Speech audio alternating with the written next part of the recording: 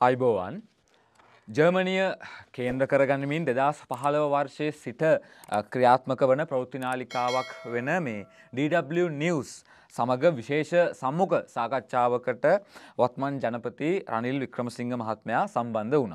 එතකොට එම සාකච්ඡාව තුළ මතුවෙච්ච විශේෂ වැදගත් විශේෂෙන්ම මේ උණුසුම් මුහුණු වරක් ගත්ත. කරුණු කාරණා කීපයක් සම්බන්ධයෙන් අද දවස අපි අවධානය යොමු කරන්න බලාපොරොත්තු වෙනවා. වීඩියෝ එක ආරම්භයේදීම රනිල් වික්‍රමසිංහ ජනාධිපතිවරයා සම්බන්ධයෙන් පූර්විකාවක් ගෙනීමටත් DW නිවස් අමතක කරලා තිබුණේ නැහැ. කෙසේ වෙතත් මේ පූර්විකාව තුළ රනිල් වික්‍රමසිංහ මහතා සහ රාජපක්ෂ වරුන් අතර හිටපු ජනාධිපතිවරුන් වන මහින්ද රජපක්ෂ සහ ගෝටාබේ රාජපක්ෂ මහත්මයා අතර ගැඹුරු සම්බන්ධතාවයක් පවතින බවටත් සඳහන්වීම විශේෂ වෙනවා. ඒ වගේම ශ්‍රී ලංකාවේ යුද්ධාපරාධ සම්බන්ධයෙන් මීට පෙර කටයුතු කරපු ආණ්ඩු විලසින්ම වික්‍රමසිංහ ජනාධිපතිවරයාගේ ආණ්ඩුවත් සාධනීය විසඳුමක් ලබාදීමට අපහොසත් වී ඇති බවත් මේ පූර්විකාව තුළ සඳහන් වෙච්ච තවත් කාරණයක් වෙනවා. ප්‍රතිතස්ත පනත සම්බන්ධයෙන් මෙරට සිවිල් සංවිධානවල පවතින විරෝධයත් මේ පූර්විකාව තුළ සඳහන් වෙච්ච තවත් විශේෂ කාරණයක් වෙනවා. එවගේ පසුගිය මාසයක වගේ කාලය තුළ ඔබට මතක නම් එක්සත් ජාතින්ගේ සංවිධානයේ මානව හිමිකම් කොමසාරිස්වරයා ශ්‍රී ලංකාව සම්බන්ධයෙන් විශේෂයෙන්ම මේ මෑත කාලේ මෙට සිද්ධ වෙච්ච මානව හිමිකම් උල්ලංඝනය කිරීම සම්බන්ධයෙන් වංචා දූෂණ සම්බන්ධ කාරණාවලදී ශ්‍රී ලංකාවේ වගවීම ප්‍රමාණවත් නොවන බවට සඳහන් කරලා තිබුණා. එතකොට මේ සඳහනත් මේ චෝදනාවත් මේ පූර්විකාව තුළම අන්තර්ගත කිරීමට DW නිවස් අමතක කරලා තිබුණේ නැහැ. මේ සාකච්ඡාව බලාපොරොත්තු නොවූ විදිහට තරමක උණුසුම් මුහුණුවරක් ගනු ලැබවා ඒ මේ සම්මුඛ සාකච්ඡාව නිරත වූ මාධ්‍යවේදයා විසින් චැනල් ෆෝ නාලිකාව විසින් මීට මාස කිහිපයකට පෙර නිකුත් කරන ලද ඒ විශේෂ පාස්කු පහරය සම්බන්ධ විශේෂ වීඩියෝ පටය අරලා ජනාධිපතිවරයාට එල්ල කරපු ප්‍රශ්න ප්‍රමාණයත් එක්ක.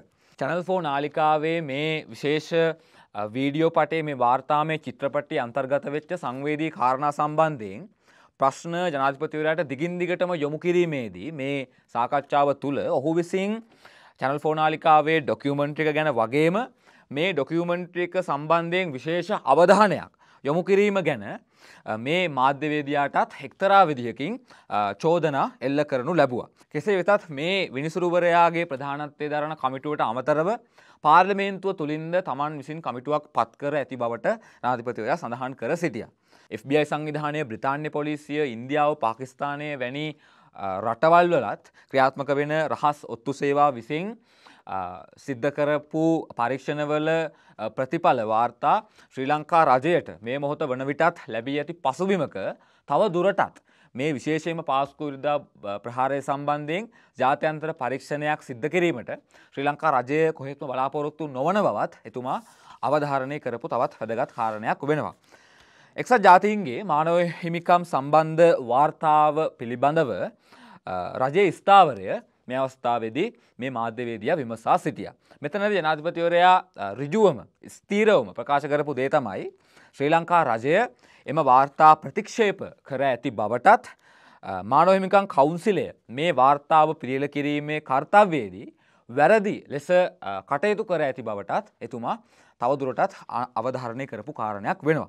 කොමාරි මේ සම්මුඛ සාකච්ඡාව සම්බන්ධයෙන් එහිදී මතුවුණු අදහස් සම්බන්ධයෙන් අමුටීවි අපේ අදහස තමයි මේ සාකච්ඡාව නැරඹීමේදී එහි අන්තර්ගත වෙච්ච සංවේදී තොරතුරු මතදැක්වීම් මොහොතකට අපිට අමතක කරන්න පුළුවන්නම් මේ මාධ්‍ය සාකච්ඡාව තුළ අපිට අගය කරන්න පුළුවන් වටිනාම දෙයක් ගැබ් වෙලා තිබුණ.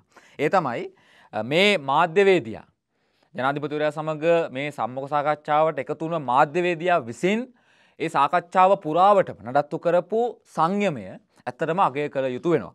මොකද මොහොතකට හිතල බලන්න මේ සංවේදී ප්‍රශ්න ටිකම මේ රටේ මාධ්‍යවේදියෙක් ප්‍රසිද්ධ මාධ්‍යායතනයක වැඩසටහනකදී මේ රටේ දේශපාලක්නයෙක්ට යොමු කලා නම් මොනවගේ අප්‍රසන්න තත්ත්වයක් ඒ තුළ නිර්මාණය වෙන්න ඉඩකඩ තියෙනවද.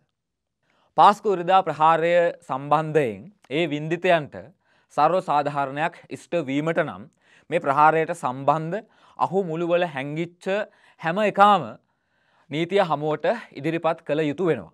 නමුත් ඊටත් වඩා සිද්ධ විය යුතු සාධාරණයක් තියෙනවා. ඒ තමයි නැවත මේ රටේ මෙවැනි අන්තවාදය මුල්කොටගත්ත ම්ලේච්ච අවාසනාවන්ද තත්ත්වයන් නිර්මාණය නොවීමට අපි වග බලා ගත යුතු වෙනවා. ශාපී ශාබ්දීන් වෛද්‍යවරයා සම්බන්ධයෙන් මේ රට තුළ ගොඩනැගුණු එමනැත්තම් මාධ්‍යනාලිකා ප්‍රමුඛ වෙලා ගොඩනගන්න උත්සාහ කරපු ඒ අවාසනාවන්ත අන්තවාදී තත්ත්වය වැනි විනාශකාරී සිටුවේෂන්ස් පුරවසියන් විදිහට අපි එක මිටකට ඇවිල්ලා ප්‍රතික්ෂේප කළ යුතු වෙනවා.